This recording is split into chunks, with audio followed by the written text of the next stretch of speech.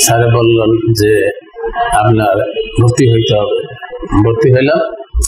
নয় দিন আমরা এই সেবা নিছি। নয় দিনের ভিতরই ইনশাআল্লাহ আমাদের সেই কোমরের ব্যথা পায়ের রগের ব্যথা সম্পূর্ণভাবে ইনশাল্লাহ আমরা সুস্থ। আলহামদুলিল্লাহ। আমি দর্শক যারা আছেন আমি তাদেরকে বলব এ ধরনের যদি পেশেন্ট কেউ থাকেন এই সমস্যায় যদি কেউ ভুগে থাকেন, বিভিন্ন দিকে যদি কোনো চিকিৎসা নিয়ে থাকেন, সুস্থ হয় নাই, এ ধরনের কেউ যদি থাকেন ইনশাল্লাহ যদি আপনারা এখানে আসেন, আমি এদের আচরণ, এদের ব্যবহার, এদের সেবা, পরিষ্কার পরিচ্ছন্নতা সর্ব বিষয়ে আমরা সন্তুষ্ট। এবং আমরা যে সুস্থতা অর্জন করতে পেরেছি, এদের চেষ্টায় এবং আল্লাহ পাকের রহমতে এই জন্য স্যারকে আমি অশেষ ধন্যবাদ দিই এবং স্যারের জন্য দোয়া করি।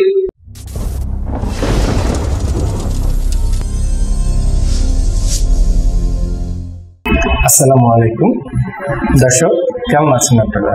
আশা করি সবাই ভালো আছেন এবং সুস্থ আছেন। এই মুহূর্তে আমি আছি ঢাকার প্রাণকেন্দ্র, ঢাকার শ্যামলীতে জিপিআরসি হসপিটালে, যার প্রাণ হচ্ছেন ডক্টর মোহাম্মদ শফিউল্লাহ প্রধান।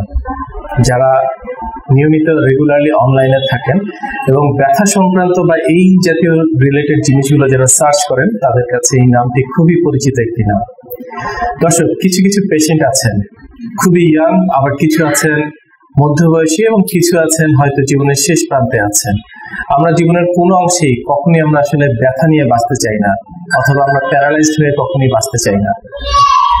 দর্শক, আজকে আমাদের সাথে এখানে উপস্থিত আছেন আমাদের একজন পেশেন্ট যার মূলত হয়েছিল লিস্থিসিস যেটার কারণে ওনার সার্ভাইকেলে যে ডিসগুলো ছিল প্রায় ফিক্সড হয়ে গিয়েছিল। জীবন প্রায় অসম্ভব হয়ে গিয়েছিল। বাট সঠিক চিকিৎসা পেয়েছেন, সুস্থ হয়েছে সেই সুস্থ হয়ে ওঠার গল্পটা আজকে আমরা শুনব ওনাদের কাছ থেকে। তার আগে দর্শন একটু পরিচিত হয়নি ওনাদের সাথে। আসসালামু আলাইকুম। ওয়ালাইকুম আসসালাম। কেমন আছেন আজকে? ইনশাল্লাহ ভালো আছি আজকে। আপনার নামটা একটু যদি বলেন। মিসেস রাশিদা বেগম। রাশিদা বেগম। বাসা কোথায় আপনার? আমাদের বাসা বরগুনা জেলায়। বরগুনা জেলার কোথায় এটা? এটা বেতাগি থানায়। আচ্ছা। আপনি তো একজন হাউস ওয়াইফ। কয় সন্তান আপনার?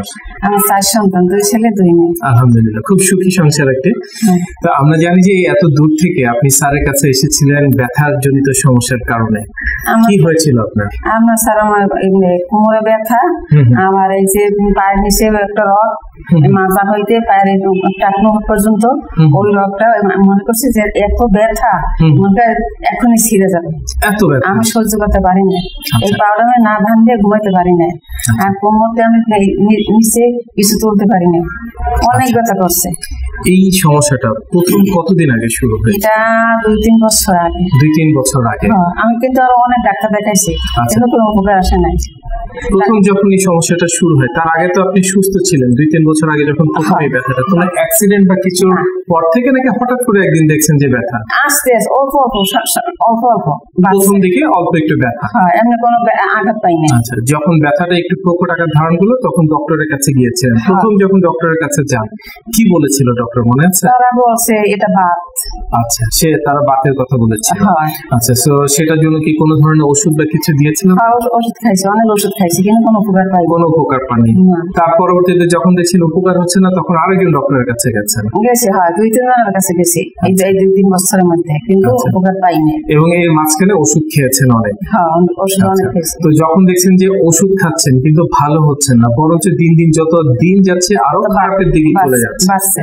এই যে ডিসপ্রলাপ জনিত সমস্যা যে আপনার দেখছেন কোমরে প্রথম ব্যথাটা কি প্রথম কোমরে এসেছিল নাকি না প্রথম কোমরে। প্রথম কোমরে? হ্যাঁ, তারপরে সেই ব্যথাটা দেখেছেন পায়ের নিচ পর্যন্ত চলে যাচ্ছে। সাংসারিক কাজ করতে গেলে আমাদেরকে উঠতে হয় বসতে হয় হ্যাঁ। হাঁটাচলা করতে হয় বিভিন্ন কাজ করতে হয়। হ্যাঁ। সেই কাজগুলো আর আগের মতো করতে পারছিলেন না। আচ্ছা সর্বোচ্চ করতে বাড়ি গেছে।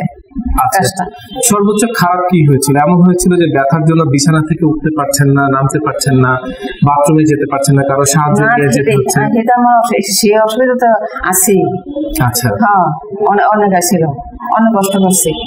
এক গ্লাস পানির জন্য কাউকে ডাকতে হচ্ছিল। হ্যাঁ। যে সুস্থ মানুষটা একটা সময় পুরো সংসার আগলে রেখেছেন চার চারটি হ্যাঁ, সন্তানকে মানুষ করেছেন। হ্যাঁ। সেই মানুষটাকে হঠাৎ করে দেখছেন হঠাৎ করে অসুস্থ হয়ে গেছেন নড়াচড়া করতে পারছেন না ব্যথা ব্যথা ব্যথা। হ্যাঁ। কোনো ডক্টর কি আপনাকে কখনো বলেছিল যে আসলে আপনার রোগটা কি বা এই সম্পর্কে কিছু বলেছিল বলেছিল প্রথমবারে বলেছিল যে এটা বাত আচ্ছা। বাতের জন্য এটা হয়েছে। কিন্তু আমি একা একা বুঝি না এটা আমার বাত হইতেই পারে না। আচ্ছা। এটা হয়তো আমার অনেক একটা কিছু হয়েছে। এই বলে বলে বলতে বলতে অনেক দুই তিন ডাক্তার দেখাইছি। আচ্ছা কোমরে ব্যথা ব্যথাটা নিঃশ্বের পায়ে পর্যন্ত চলে যায় পা দিতে কষ্ট হয় হাঁটতে কষ্ট হয়। একটু কষ্ট হয়েছে কিন্তু। এই রাত্রে ঘুমাতে পারতাম না। রাতে এই- পাটা দুই দিন ধরে বান বান দিতে হয়েছে তারপর আমি গামছা দিয়ে বা দড়ি দিয়ে যেভাবে হোক হ্যাঁ, বেঁধে ঘুমাতে হতো। হ্যাঁ, ফ্যান ছাড়লে কি কষ্ট হতো? ফ্যানের বাতাসে সেটা কষ্ট হতো। না, না, না। কিন্তু বেঁধে ঘুমাতে হতো। হ্যাঁ। নিজে ঘুমাতে পারতেন না তখন পরিবারের সদস্যরা যারা তখন দেখতেন তারাও কষ্টে থাকতেন। হ্যাঁ। রাতের পর রাত কেটেছে না হ্যাঁ। কাটাতে হয়েছে। হ্যাঁ। একটা সময় তো আরও বেশি অসুস্থ হয়ে হ্যাঁ। কখনো মনে হতো না যে আমি কি আর কখনো সুস্থ হব না? এটা তো স্বাভাবিক তো মনে স- সব সবসময় এরা মনে ডাক দিছে যে আমি কীভাবে আল্লাহ যে তুমি আমার রাখবে যে আমি এগুলো কেমন কি চলাফেরা করব? মনে একটা নিশ্চয়ই দুশ্চিন্তা সবসময় লেগে থাকতো। আচ্ছা। ডক্টর মোহাম্মদ শফিউল্লাহ প্রধান স্যারের কাছে ট্রিটমেন্টের জন্য এসেছেন। জানতে পারলেন কীভাবে স্যারের কথাটা? এটা জানতে পারছি সঠিক কথা হইল আমার ছেলে থাকে গাজীপুরে। আচ্ছা। তখন ও ইউটিউবে সার্চ দিছে। তখন উম, সে প্রথম জানতে পারে। জানতে হ্যাঁ। পারার পর আপনাকে আমাকে বলল যে মেয়ের এই শ্যামলিতে একটা ডাক্তার আছে অনেক বড় প্রধান তার কাছে তো যাইয়ে দেখেন। আচ্ছা। সেই কথা শুনে সরাসরি হ্যাঁ। চলে আসলেন আর দেরি করলেন না। না দেরি করিনি। ওকে স্যার যখন প্রথম দেখলেন স্যার কি কি বলেছিলেন? মনে আছে? এমন কিছু বলেছেন যে আপনি ট্রিটমেন্ট নিতে থাকেন ইনশাল্লাহ আপনি সুস্থ হয়ে যাবেন। না সে দেখছে দেখে আমার এক্স রে দিছে। হুম হুম। এক্স রে দেখাবার বলল যে আপনার নিশ্চয়ই ভর্তি হইতে হবে। আচ্ছা। তখন আমি টাকা পয়সা সমস্যা ভর্তি হইতে পারি না। কিন্তু আজ দুই আড়াই মাস পর এখন দেখছি আর বাড়তে আছে। আরও খারাপের দিকে যাচ্ছে খারাপের দিকে এই জন্য আমি পরে টাকা সংগ্রহ করে তারপর স্যারের কাছে আসে।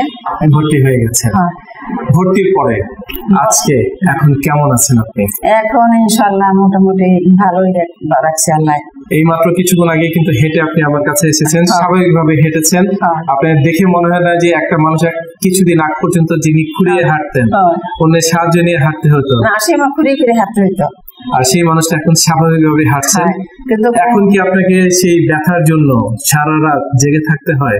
না ইনশাআল্লাহ পায়ে কোনো কিছু বাদ দিতে হয়? না। আলহামদুলিল্লাহ। অসংখ্য দর্শক আছেন। আপনার মতো এরকম তারা হয়তো চিকিৎসা পাচ্ছেন না জানেন না। তাদের জন্য যদি কিছু বলেন। এভাবে আমি যে কষ্টটা করছি আজ দুই তিন বছর হইতে তখন হ্যাঁ বলার মতো না। তা তো এইমাত্র সবকিছুই বললাম। তাই আমি এই- এই- এই স্যারের কাছে আসিয়া আমি অনেক অনেক উপকার হয়েছে। আলহামদুলিল্লাহ। দর্শক পরিবারের যারা সদস্য আছেন তাদের এই ক্ষেত্রে ভূমিকাটা অনেক। আমরা সেখানে ওনার হাজবেন্ডকে পেয়েছি। যিনি প্রথম থেকে শেষ পর্যন্ত ওনার সাথে ছিলেন এবং তাদের চেষ্টার কোনো ত্রুটি ছিল না। আসুন দর্শক একটু ওনার সাথেও কথা বলি। সেই সময়গুলোর কথা এবং আজকে যখন নিয়ে যাচ্ছেন সুস্থ অবস্থায় তার সবচেয়ে প্রিয় মানুষটিকে দেখছেন? কেমন লাগছে তার কাছে? আসসালামু আলাইকুম। ওয়ালাইকুম আসসালাম রহমতুল্লাহ বারকাত স্যার কেমন আছেন আজকে? ইনশাল্লাহ আমি ভালো আছি। স্যার আপনার সহধর্মিনী যিনি দীর্ঘদিন যাবত উনি কোমর ব্যথা পায়ে ব্যথা এবং ঘাড়ে ব্যথা জনিত সমস্যা উনি ভুগেছেন ওনার লিস্থিসিস হয়েছিল। প্রায় জীবন প্রায় অসম্ভব হয়ে গেছিল। একটা সময় খুঁড়িয়ে খুঁড়িয়ে হাঁটতেন। আমাদেরকে যদি সেই সময়গুলোর কথা বলতেন যে, কেমন লাগতো? ওই সময়টা যখন দেখতেন সবচেয়ে আপন মানুষটা এত কষ্টে আছে, কি কি করেছিলেন আপনারা?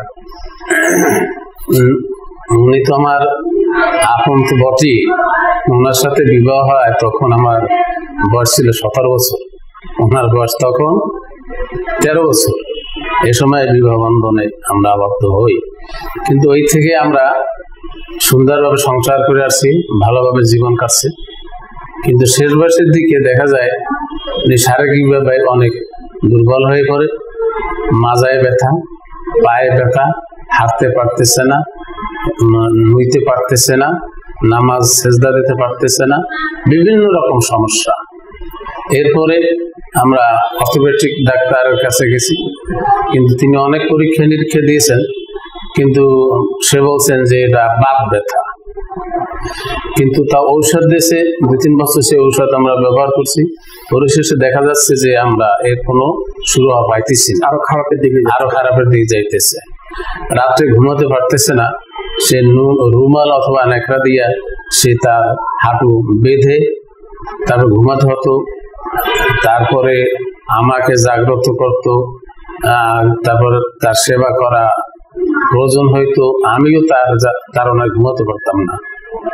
পরিশেষে আমার ছেলে ঢাকাতে থাকে, সে ইউটিউবে দেখল যে শফিউল্লাহ প্রধান শ্যামলী ডিপিএসসি হসপিটাল। ইনি একজন ভালো ডাক্তার।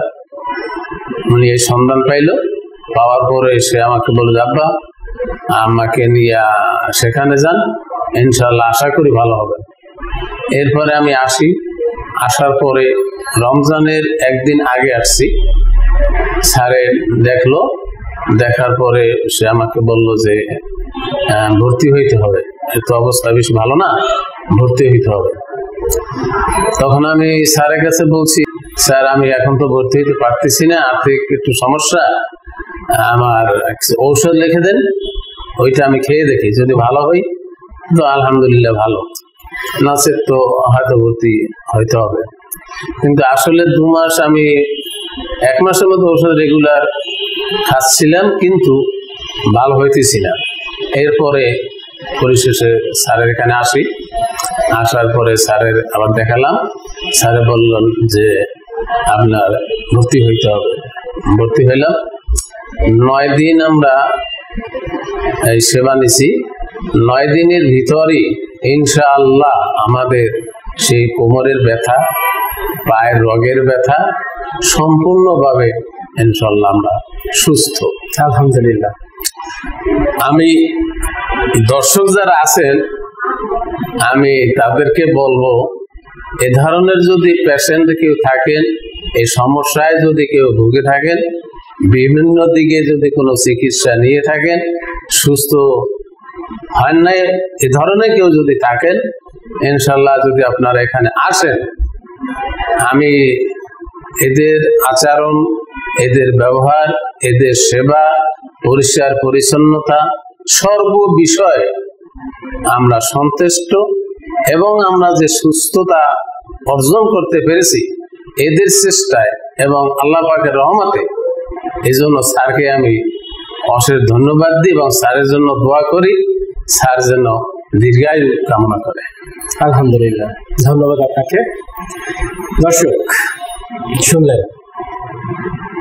দোয়া করবেন আমাদের স্যারের জন্য। আসলে ডক্টর শফিউল্লাহ প্রধান আমাদের দেশের গর্ব।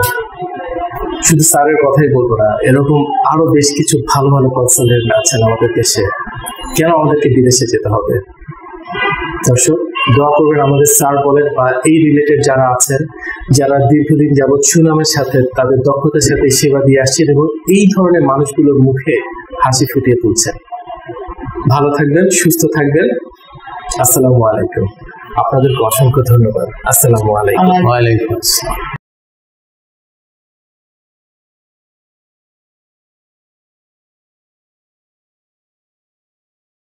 আস্থা বিশ্বাস ও নির্ভরতায় অবিচল।